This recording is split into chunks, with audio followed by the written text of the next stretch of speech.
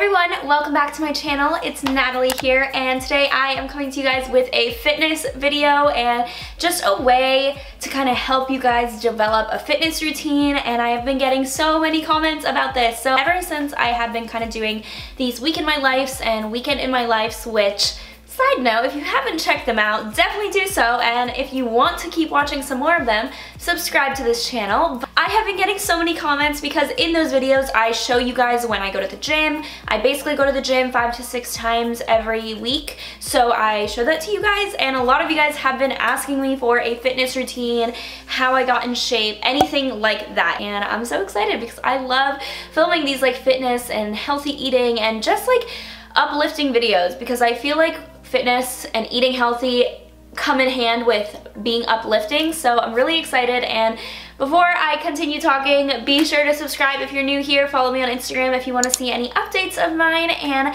then without further ado, let's just get into the video. The way this video is going to work is I'm going to have it set up so one's going to be fitness and then one is going to be food related. I'm just going to get started. With tip number one, it is to stop buying junk foods. This is like the very first year that I've truly stuck to it and I know it's still January but I really have been very strict on myself. So me and my roommate have started eating together and shopping for food together just because it's cheaper and it helps so that things don't go bad. But we both have been on a mission to stop eating like crap. So we don't buy potato chips. We don't buy chips and salsa anymore. And I love salsa, but I know that if I have salsa in my fridge, I'm gonna eat a whole bag of tortilla chips with it. So I don't buy that anymore. I try not to buy much like candy or mainly my weakness is potato chips in all honesty and like frozen food and mac and cheese. Oh my goodness. I have just stopped buying that completely because if it's in my pantry and in my fridge, I am going to eat it. So I have been trying to find healthier alternatives. So instead of potato chips, for example, you can buy popcorn and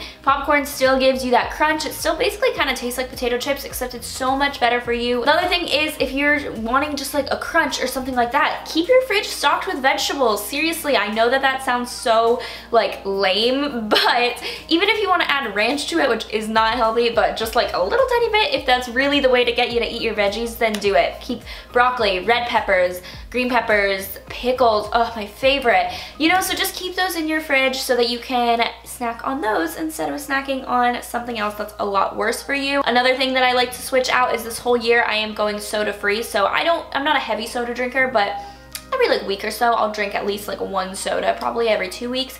So I am now pledging to cut soda out of my diet for this whole year and hopefully for good but starting with a year giving myself actually realistic goals. So instead of soda which I sometimes crave like crazy I have been just drinking sparkling water or carbonated water. You can get LaCroix you can get like Dasani has sparkling water literally anything but sparkling water is not bad for you at all. So that is definitely what I have been doing and it really helps me get that like carbonation that I'm wanting at that moment. The second thing is to wake up early so that you can get a workout in. And I know I say this in literally every video, but it is probably my most important, tried and true one of these fitness tips. And you guys wanted to know how I have gotten into shape, and this is seriously number one. I used to work out at night, like after my classes and after I've done everything for the day, but that's kind of like prioritizing your workout last. So if you're tired, if you have extra homework, and you can't work out, it's kind of like, ah, oh well, I'm too busy. You wake up an hour earlier than you normally do, you literally have no excuses because you wouldn't even be up at that time. So just get it out of the way. You also feel so accomplished and so much better about yourself after you finish a workout and it's like 8 a.m. Seriously, you guys, it's one of the greatest feelings and I know it takes a while to get used to. No one wants to get up early to work out. Like that, I don't like want to do that.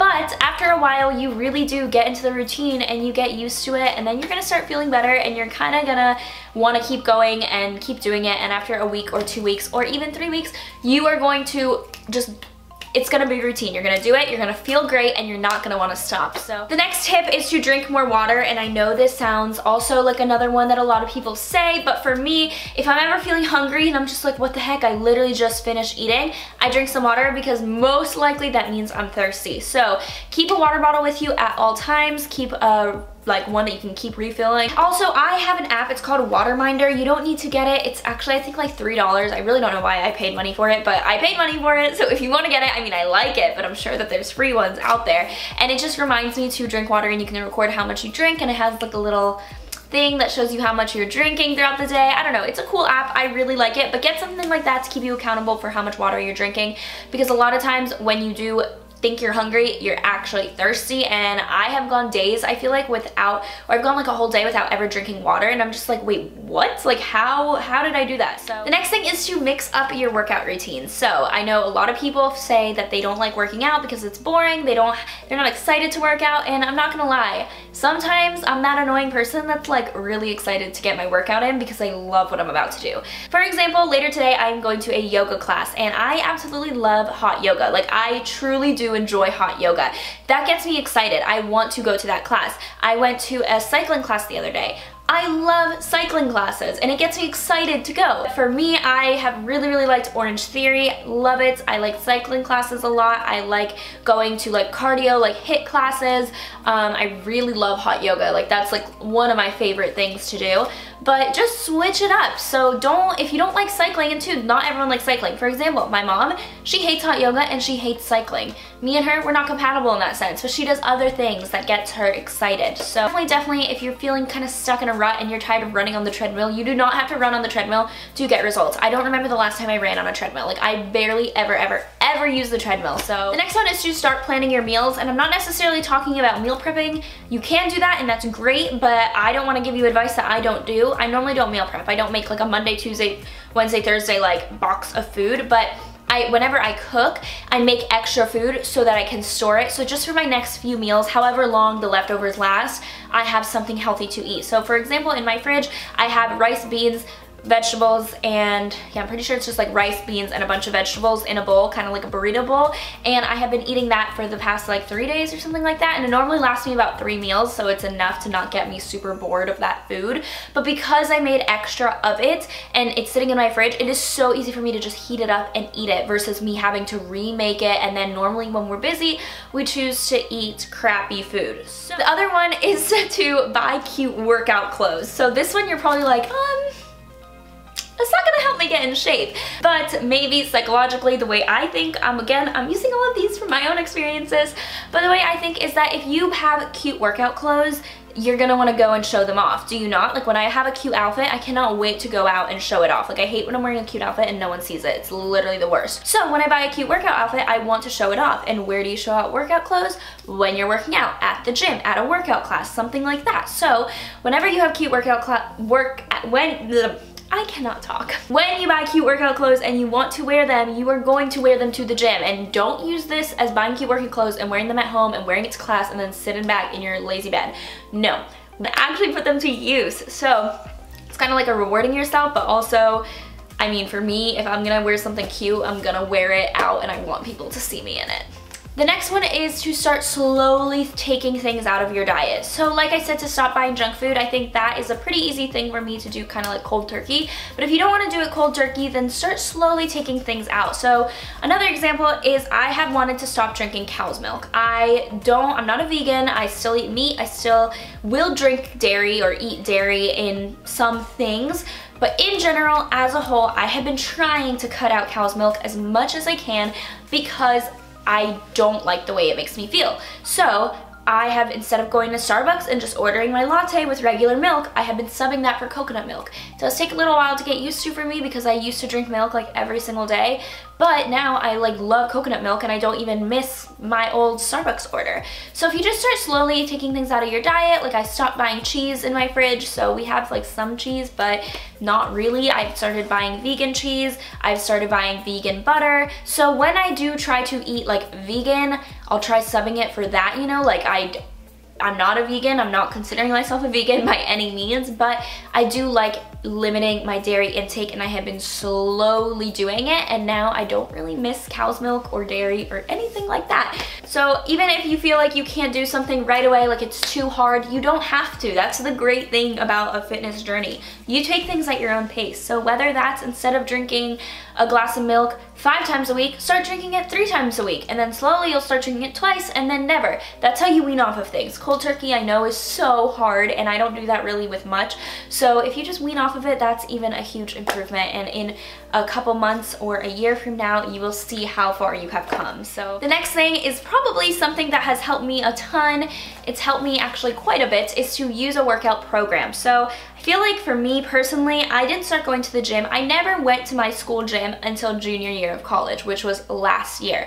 So I never even stepped foot in the free gym that is accessible to us at NC State because I was scared. And I know a lot of you guys feel the same exact way. So I was terrified because I feel like it's only like big macho guys that go there or like girls that are super fit and like like ripped and I'm just sitting there like like I don't know what to do. Like I don't know what these machines do. I don't I don't know how to like lift weights. Like what? I got a workout program and the workout program I'm using is the Sweat by Kayla. So it is the BBG Bikini Body Guide 12 week program and I have been on and off of it for quite a while. Like I've always gone up to like eight weeks and then I've stopped and like done something else and then like seven weeks and I've stopped and done something else. I'm about to finish my 12th week you guys which is like the first part of the program like the first 12 weeks is like the huge milestone. So I'm so proud of myself. But I have been using that, the Sweat by Kayla app. It's so amazing. It tells you exactly what to do, shows you a video of how to do it, and it's simple enough that you're not gonna be scared or anything. I have been absolutely loving it. It has been completely what has transformed my body and if I wasn't for that program, I really think I'd just be running on the treadmill and getting so bored and stopping and then restarting and stopping and restarting and stopping and restarting and you guys get it. Get with the program, Whether it's the Kayla app or anything else, I also like Nike Training Club, but I like something that tells me what to do because I honestly feel like I don't know what to do when I'm not using something.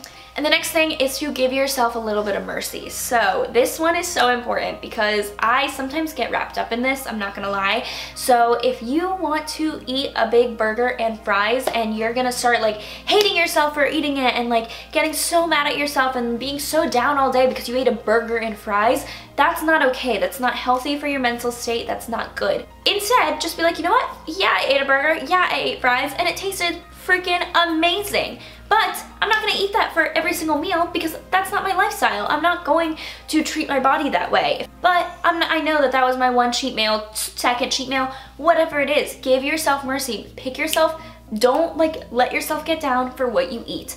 It's okay to have a piece of cake. It's okay to have a burger and fries. It's okay to go out to cook out and get a cookout tray. Because you know what? I did that last weekend. But seriously, give yourself a little bit of mercy. It's okay if you break your diet one day or anything like that. Like, that's fine. You're gonna live, you're gonna survive, and your body is going to be fine. And the next one is to listen to your body. So if you feel like you're literally going to pass out and throw up while you're working out, sit down, give yourself a break, take a lap, let yourself breathe and stop working out because you need to listen to your body. There's a, a, difference from wanting to pass out and throwing up and feeling like you can't do it anymore and just being like, oh gosh, like I'm so tired, oh, this sucks. That second feeling, that's when you push harder. The first feeling though, you need to stop and listen to your body and give your body rest. It's fine if you miss a week of going to the gym because your body needs rest. For example, when you're sick, when you have the flu, don't force yourself to work out. That is your body telling you, I need to rest and you need to listen to it. I just want you guys to know that some people I think get so wrapped up in like, oh my gosh, I need to work out. I'm, I can't believe I'm sick. Like I'm still gonna go to the gym. I'll, I'll like walk on the treadmill. Why? Why? Just rest. Give your body this time. You're sick and you need to do that. So that is something that I feel like is so like lost in the lines when people are trying to get on their fitness journey. They think that they can't miss a week or they can't skip a week or even if they get sick, they have to keep going. And that's so not true. Oh, like those are my 10 tips and I really hope that you guys like them because I loved thinking of these and I really have used all of these tips. I've been trying to drink more water. I've been cutting out veggies and I wanted to ask, or cutting out veggies. Oh no, no, I've been adding veggies. I also wanted to ask you guys if you guys wanted any other of these fitness videos, I guess, but I had some ideas like a what I eat in a day, grocery haul, or fitness routine, or gym routine, anything like that. Let me know in the comments below, and really hope that you guys enjoyed this video. I loved, loved, loved making it for you guys. I hope that you guys get on your way to your fitness journey. Send me your before and after pictures too so that we can motivate each other. so you can tweet them to me, DM me on Instagram, anything like that. But I will see you guys next time. Bye guys.